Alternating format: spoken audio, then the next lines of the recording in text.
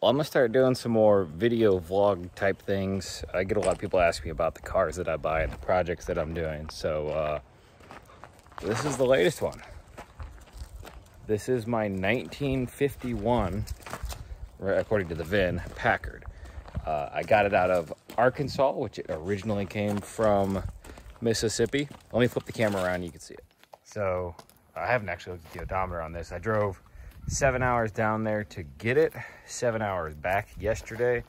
Um, previous owner drove it up from Mississippi about eight. The owner, the guy who bought it from said eight years ago, his, it was his father's car before he passed away. I'm thinking it was probably more like 10 to 12 years ago that they brought it up. Um, I, it's pretty much, I mean, so this is all metal here. There's only a couple spots where I think I can see any filler at all. There's a little bit here, but on the back side, it doesn't look like there's any rust. Just some pretty uh, poor patchwork. Um, so a little body work needs to be done, but I don't think there's any real rust repair that's been done on this vehicle. See the bumper's missing. I've got chrome in here, a newish radiator. Got the grill headlights, hubcaps, beauty rings, door panel. It's pretty much like a 90 to 95% complete car as far as I can tell.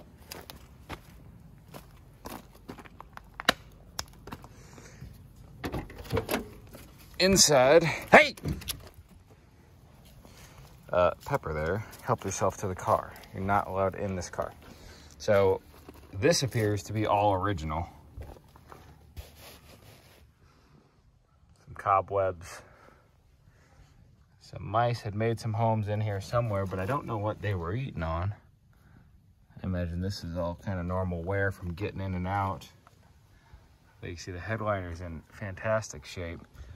So the only thing that I've seen are those couple spots where the, uh, so that's that missing door panel.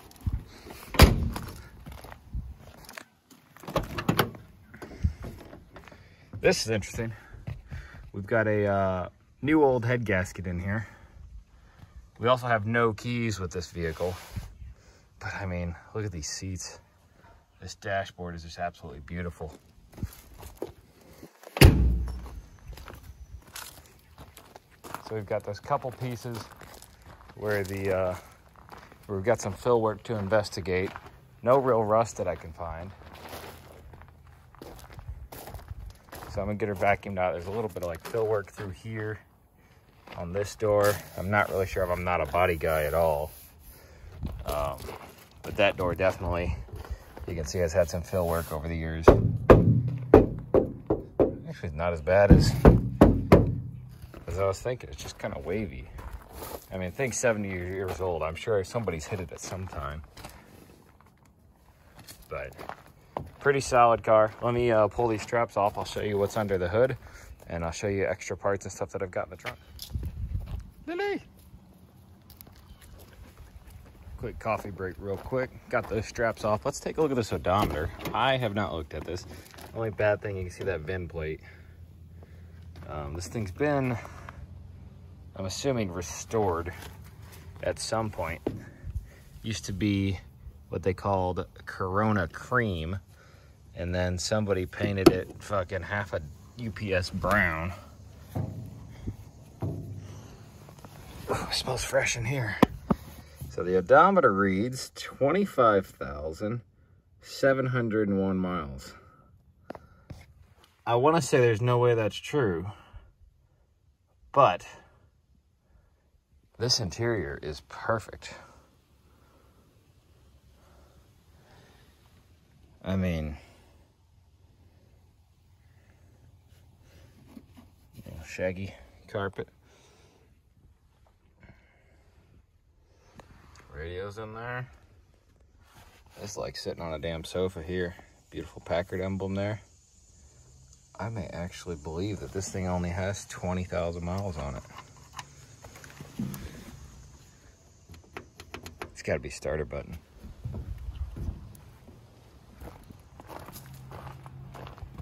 Let's take a look under here. You can see right away, things are the wrong color. Oh, massive, massive hood. So, uh, all this obviously is supposed to be green. Engine blocks and stuff on Packards are green. This is something on the carb there. That's, oh, that's the uh, electronic choke. So, ain't got no choke at the moment. But that is a nice Carter, Carter on there, made in St. Louis. Uh, about to check to see if it turns over. I did get one of them fancy tractor six volts, a couple cans of brake clean. I got myself a new shop vac because my little bitty one ain't gonna do this. Uh, suck all the nuts out of this thing. Um, hood. One nice thing about Packards doing a little research is the underhoods are black. So I don't have to touch the engine bay here at all. I don't think it looks pretty clean as long as I can, I'm gonna try to keep it a six volt system. That way I don't have to mess with any wiring. Take a look at the trunk. Oh, this is pretty neat.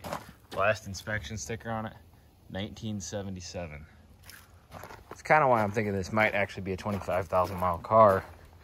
And it's just so straight. This is the one place I think they might have gotten a hit on the corner here but looking in there, I don't think it was rust repairs. I mean, it's just so solid. A little fuel door here. Factory zip tie. I've got more trim pieces and mouse shit in here. I will say, it doesn't stink. Dude, check out that floor jack. It's like a uh, an off-road jack. You can see the doo-doo brown under here. That's definitely not Corona cream. I think I'm gonna repaint the car Corona cream just to get things done right. You see that seam sealer was put on there between the wheel well and the fender, but I'm happy with this thing. Happy with the price I paid.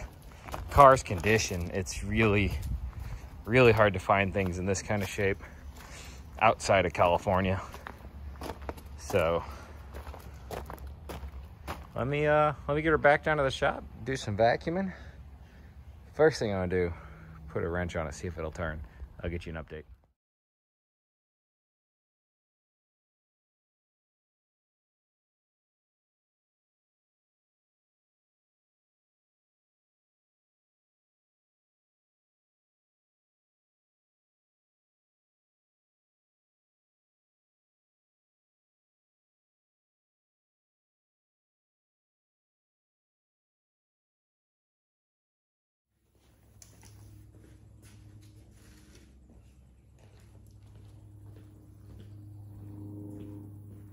This whole time, this has been sitting on the seat of the Packard. I was thinking, oh, there's a brand new head gasket.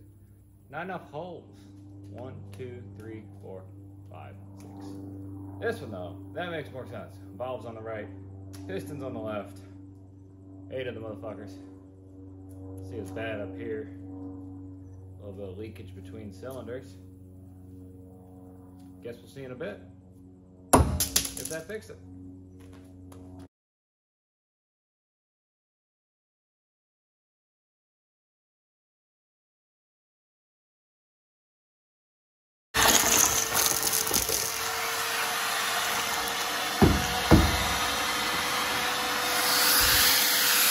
Nuts. So out here going to town with a vacuum. And uh, I suck an R out of this shit. So that means, well, two things. I gotta put some gloves on, go digging through that, and that. Because obviously this is all full of walnuts and acorns, so everything's thumping going down the, uh, down the old tube there. And so I could have some letters missing. So let's see if I can spell Packard out of the shit that's in here. If not, guess I'm going through there. Time to glove up and dive in.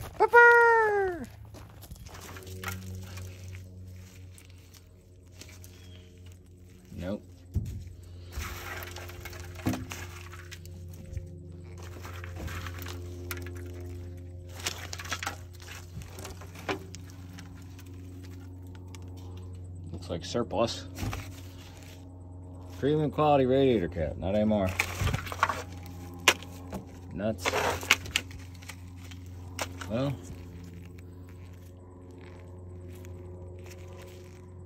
a light bulb of some sort. Probably get some uh, thicker gloves for this, but you know. All fluff. Fluff. That's terrifying.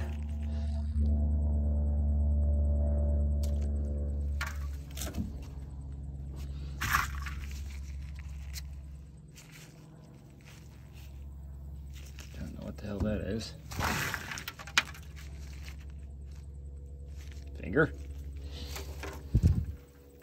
Rag. Well, no. This is not good. This is the trunk emblem.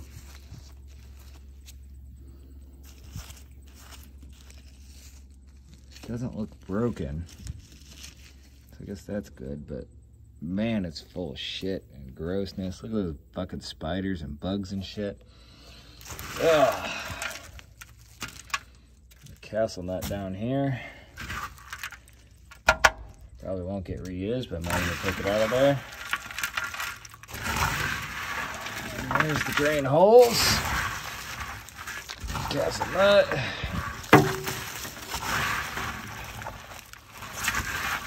All I found was an R. Missed a few letters. And this guy, this is good news, but the vacuum wouldn't have sucked that up. So, all right, let me turn the camera off. Use both hands to get this thing cleaned up and uh, give you an update. All right, just about to call it a night here. Um, got the vacuuming done. It actually looks really nice. Brakes do nothing. Like it doesn't even like it's connected to anything. The clutch does something. I hear something squeaking down there. So it's moving a thing. What that thing is, I don't know. This pisses me off so much. Fucking just sanding off the uh, the plate. Luckily, I was able to look up with those numbers uh, what I have. Somebody painted all of the chrome a copper color. Fantastic. That's great. I'm starting to think it's a 125,000 mile car. I didn't think there's any way it's a 25,000 mile car, but this interior is just fantastic. Um, I did find out where the mice were eating. Small hole. Uh, small as in uh, fistable. Ugh, getting up in here. I missed the uh, rear deck, so I gotta do that before I go in tonight. Gotta vacuum up there. But pretty soon I'm gonna sit in this motherfucker. And uh so the the trunk took forever. I found an R, then I asked if I could buy a vowel. I found an A, so we are missing uh, a P, a CK, another A, and a D. So like I said, I'm digging through that guy. Back here, uh, there was some moisture barrier that was glued down. I'm assuming from a prior restoration. Uh, it did good until the moisture got underneath it and then it just trapped it. This rust doesn't look like it, it's not through anywhere, but it's just whatever this little insulation-y rubberized stuff is, that's coming up. So I'm not a body guy, but I'm gonna learn how to be one with this project here. Uh, but the floor is solid. Uh, a lot better than a lot of cars you're gonna find. But the thing we're all here waiting on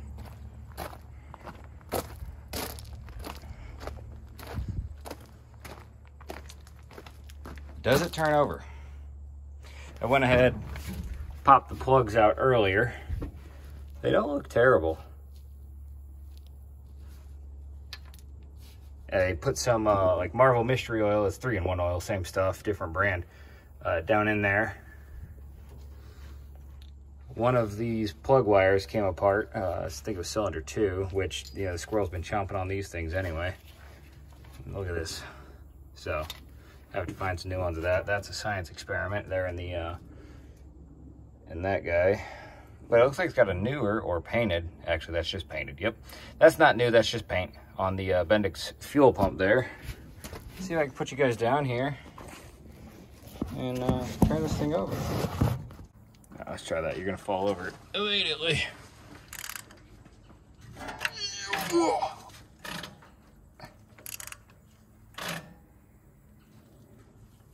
That's all I could do, but she moves. Should probably move a little bit smoother than that with the uh, plugs out, but I don't think it's in gear.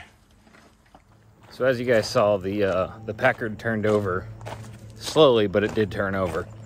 Um,